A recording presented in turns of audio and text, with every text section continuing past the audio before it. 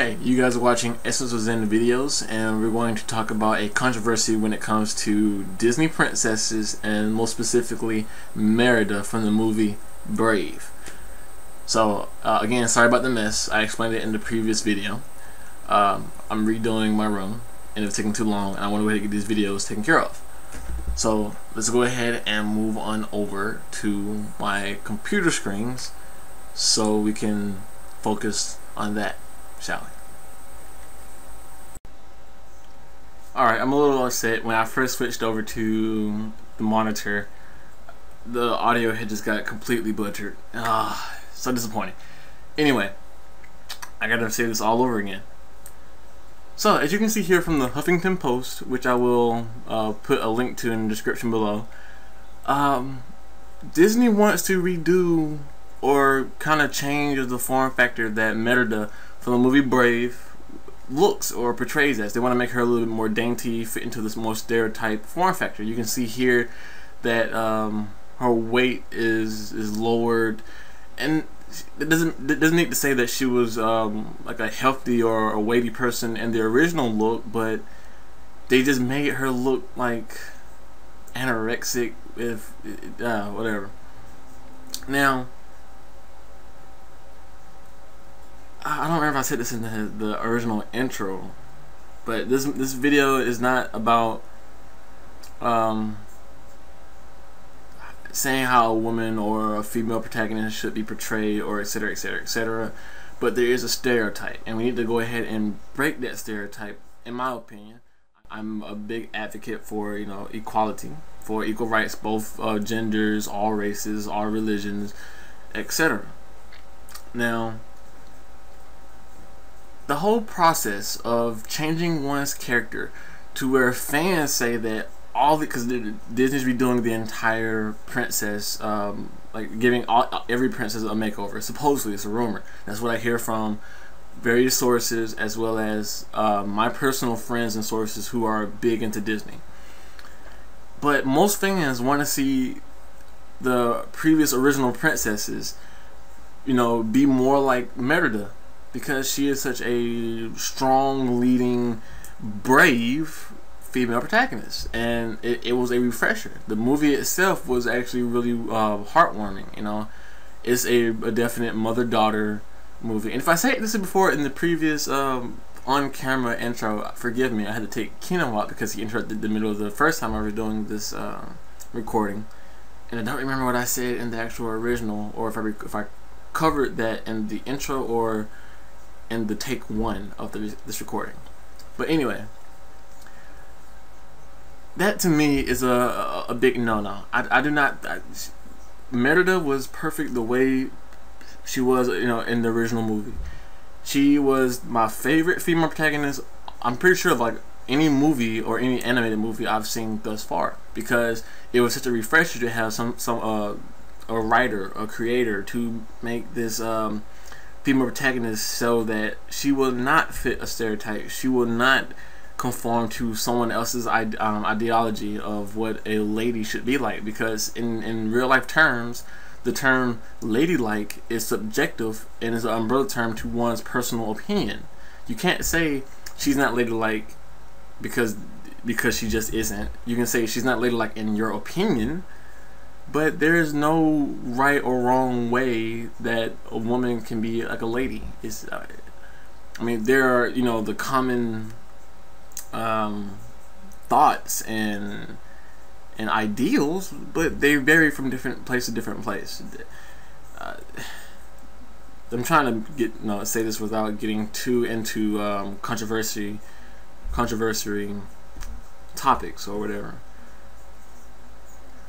But as I was saying, we need more female protagonist characters in cartoons, and movies, regardless, to be more like Merida. She's not the obnoxious uh, stereotype of a feminist, because uh, not all feminists are bad. People say, you know, feminists only care about um, A, B, and C. There are good feminists, there are bad feminists, just like there are, there are uh, good maleist and bad maleness. This, people who support male uh, rights and whatnot. you cannot judge every single person that falls under a term by the actions of one individual. Okay? That's why I believe Merida was the perfect concoction of um, what what what, what am I here? Uh, the the perfect example of how a strong, brave, uh, charismatic um, individual of a, of a female protagonist. And now I'm just kind of saying the same things over, but I really want to stress that point. I mean, you could, I, I would like, if you have a, your own opinion of someone who is more, a, a more fitting example than Merida, please leave a comment below and I, will make a, a part two to this and compare it and give you my opinions yet again. But so far, I have I have yet to see in any like Pixar or Disney movie or any animated film where a lead female protagonist is portrayed anywhere better or uh, more precise or more efficient or as on point as Merida from the movie Brave. That being said, the reasons why we should not go from her original to this is the, the, the simple showcase of uh, the problems of how story writers, movie creators, filmmakers, you know, yada yada yada, will try to place women. Look, for perfect example, one of my favorite um, creators of all time is Lauren Faust. She is one of the, I mean, she has always wanted to make a, a cartoon about, uh, you know, women or female characters who are the lead characters and portray them as strong individuals, and I don't want to say you know I'm a strong independent woman that need no man because that, that that's that's that that with that's within itself is another stereotype. But just to have a character who's a woman who can stand on her own that that is brilliant. And when she came out with the uh, the cartoon uh, My Little Pony, Friends uh, Friendship Magic. To be honest, I've, I've seen like two or three episodes, and I gotta say, it, it is actually not as girly as I thought. I actually enjoyed some bits and pieces of it. It's not my type of cartoon per se because there's not enough action and it is a little too colorful. I do not like the, the, the it's it's it's uh how, how I put it. If it's gonna be colorful, I like to see a lot of saturation with um use of, of full range. A lot of the cartoon is pillowcase colors and you know very vibrant, but they're really high in contrast and uh a, lot like I don't want to say this say like a like too feminine, but there's too much pink, too much bright yellow. It it, it, it just I don't like it. But that's just me. The art style is awesome. But I would just the color choice isn't me. It's kind of the same reason why I couldn't watch Powerpuff Girls for uh, an extended period of time because all of the the popping colors weren't saturated or had a um, a gradient. You know, it, it was all kind of like pillow case colors. And that, same, same thing with okay. So uh, one that's not as girly cartoon Foster's Home for Imaginary Children. There are some episodes where the color is just too popping for me, and I was like, okay, I can't really. Uh, it's like blah. Other times it wasn't when they actually had characters of a, of a darker color to compare to other bright characters into a, a middle toned uh, environment. But that's just me again personally. When Lauren Frost, Foss, excuse me, created My Little Pony, originally um, the, the, the head of the, the, the top horse uh, fans are gonna kill me for not knowing whatever. The the top princess the one who the little blue one is supposed to replace in the future. She was originally going to be called a queen but uh, I think Cartoon Network or no Disney whoever bought you know whoever the the station this, this show comes on said that whenever you find a queen, most children believe queens to be evil because of you know the classic Disney cartoons where you had like Maleficent and, and uh, it's, it's it was it was a, a horrible excuse in my opinion. So she felt like, okay, you're not gonna let me have a queen be in charge of a positive role model for little girls everywhere. So now I gotta go and call every single uh, female protagonist pony a princess although technically she should be a queen. That within itself is a problem right there. The, the fact that little girls will view queens as being evil. Or, or queens that are all powerful to be evil. That that is ridiculous. So why would you want to conform positive role models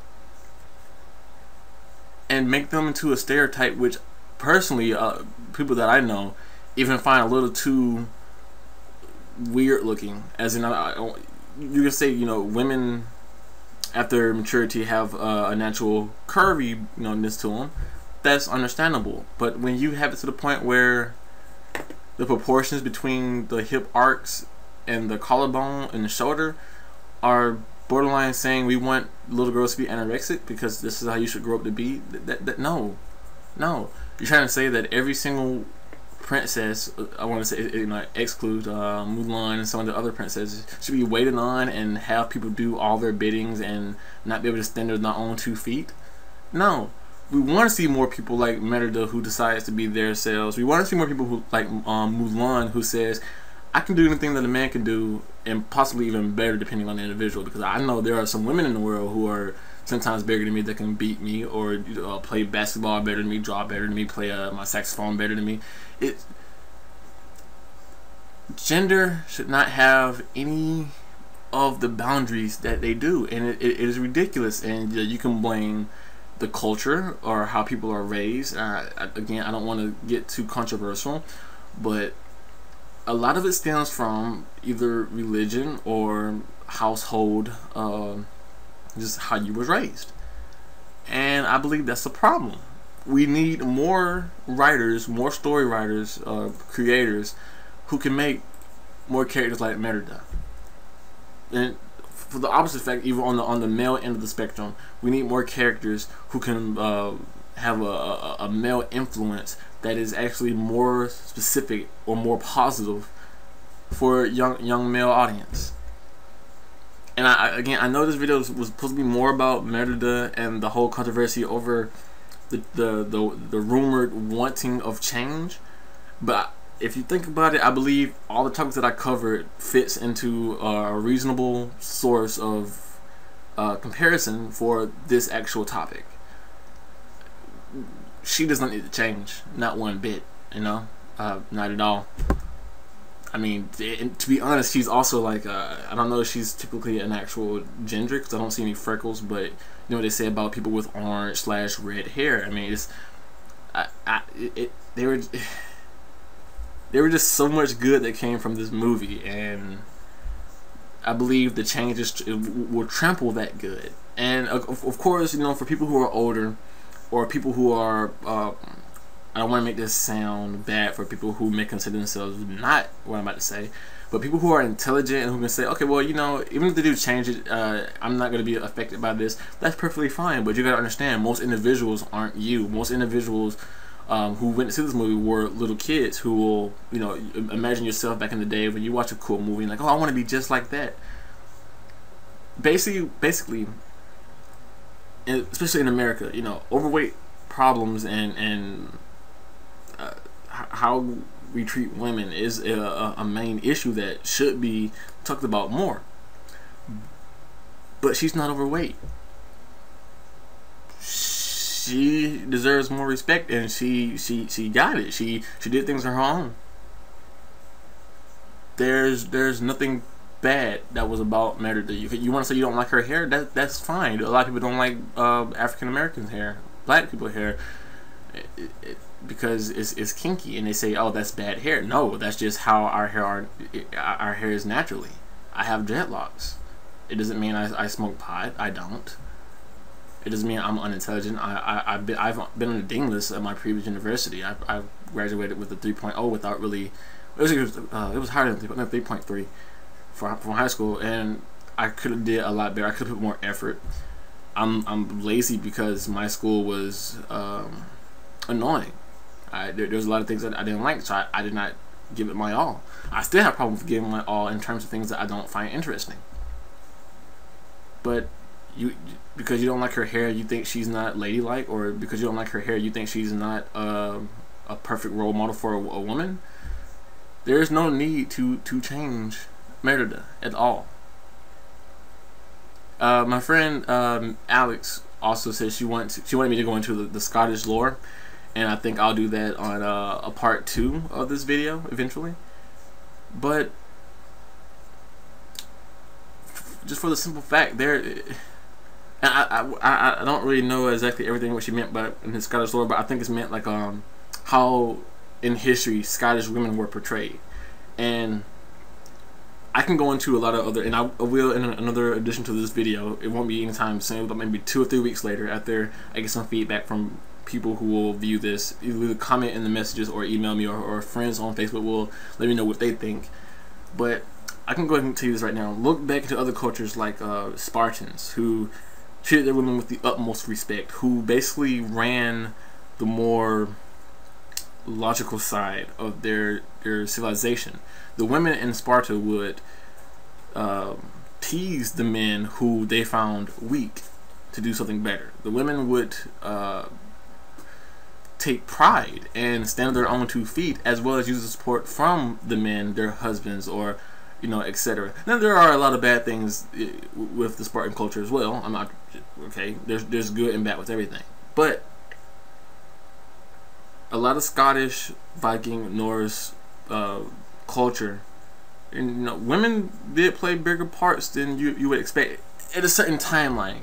But again, we're getting into a lot of issues that are controversy when it comes to religion and culture. And uh, I'll probably make a video about that on my personal channel.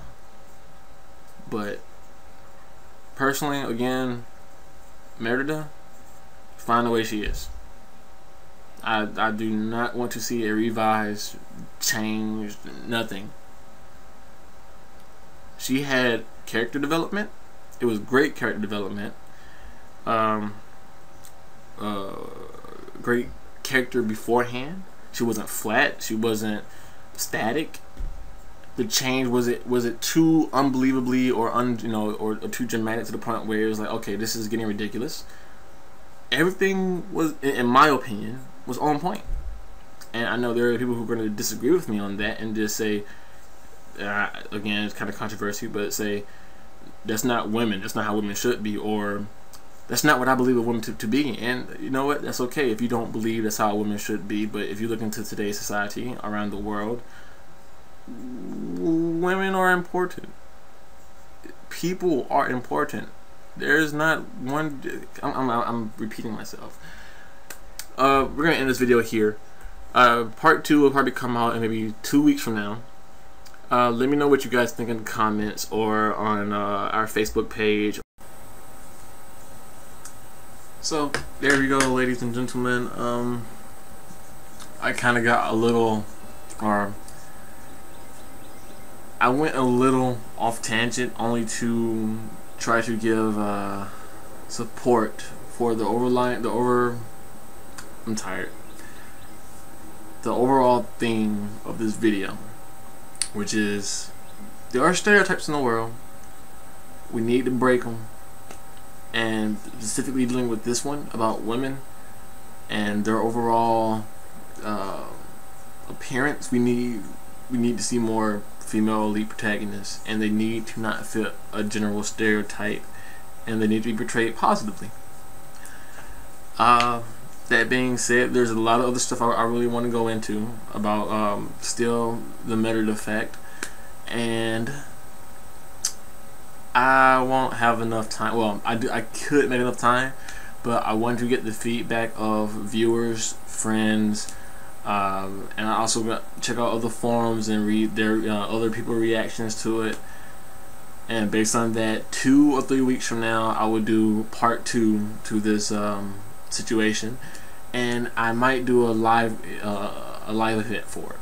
And if it's a live event, I want you guys to let me know if you want to take part in it and you know why you know what are your stances. And you can do this by either you know leaving a comment below saying I would like to participate in the live discussion two or three weeks from now or you can go to uh, EOZ Facebook page. It will be linked in the description below. And you can say I would like to be in the, the, the live discussion two or three weeks from now you can go to my Google Plus page you can email me uh, you can email this channel's email, which is I think uh, Zen Studios Easy at gmail.com. I know why you guys call Essence of Zen if your email is called Zen Studios. Long story. We're working on it. I think we should have it to the point where if you email essence of zen at g- gmail.com or is it essence of zen easy this is we're working on it so most likely just do the the former ways of contacting me or saying you want to be in the discussion you can also um, tweet me and say you want to be in the discussion um, at Zane uh, at ZenOokami and that's it uh, thank you guys for, for viewing. I hope you enjoyed it. I'm sorry it was kind of a long video. Um, I'm I'm I'm really uh, disappointed with people, and like I understand this this decision may not be a a fully thought through process, but uh, they need to see their impacts and implications. So, take care.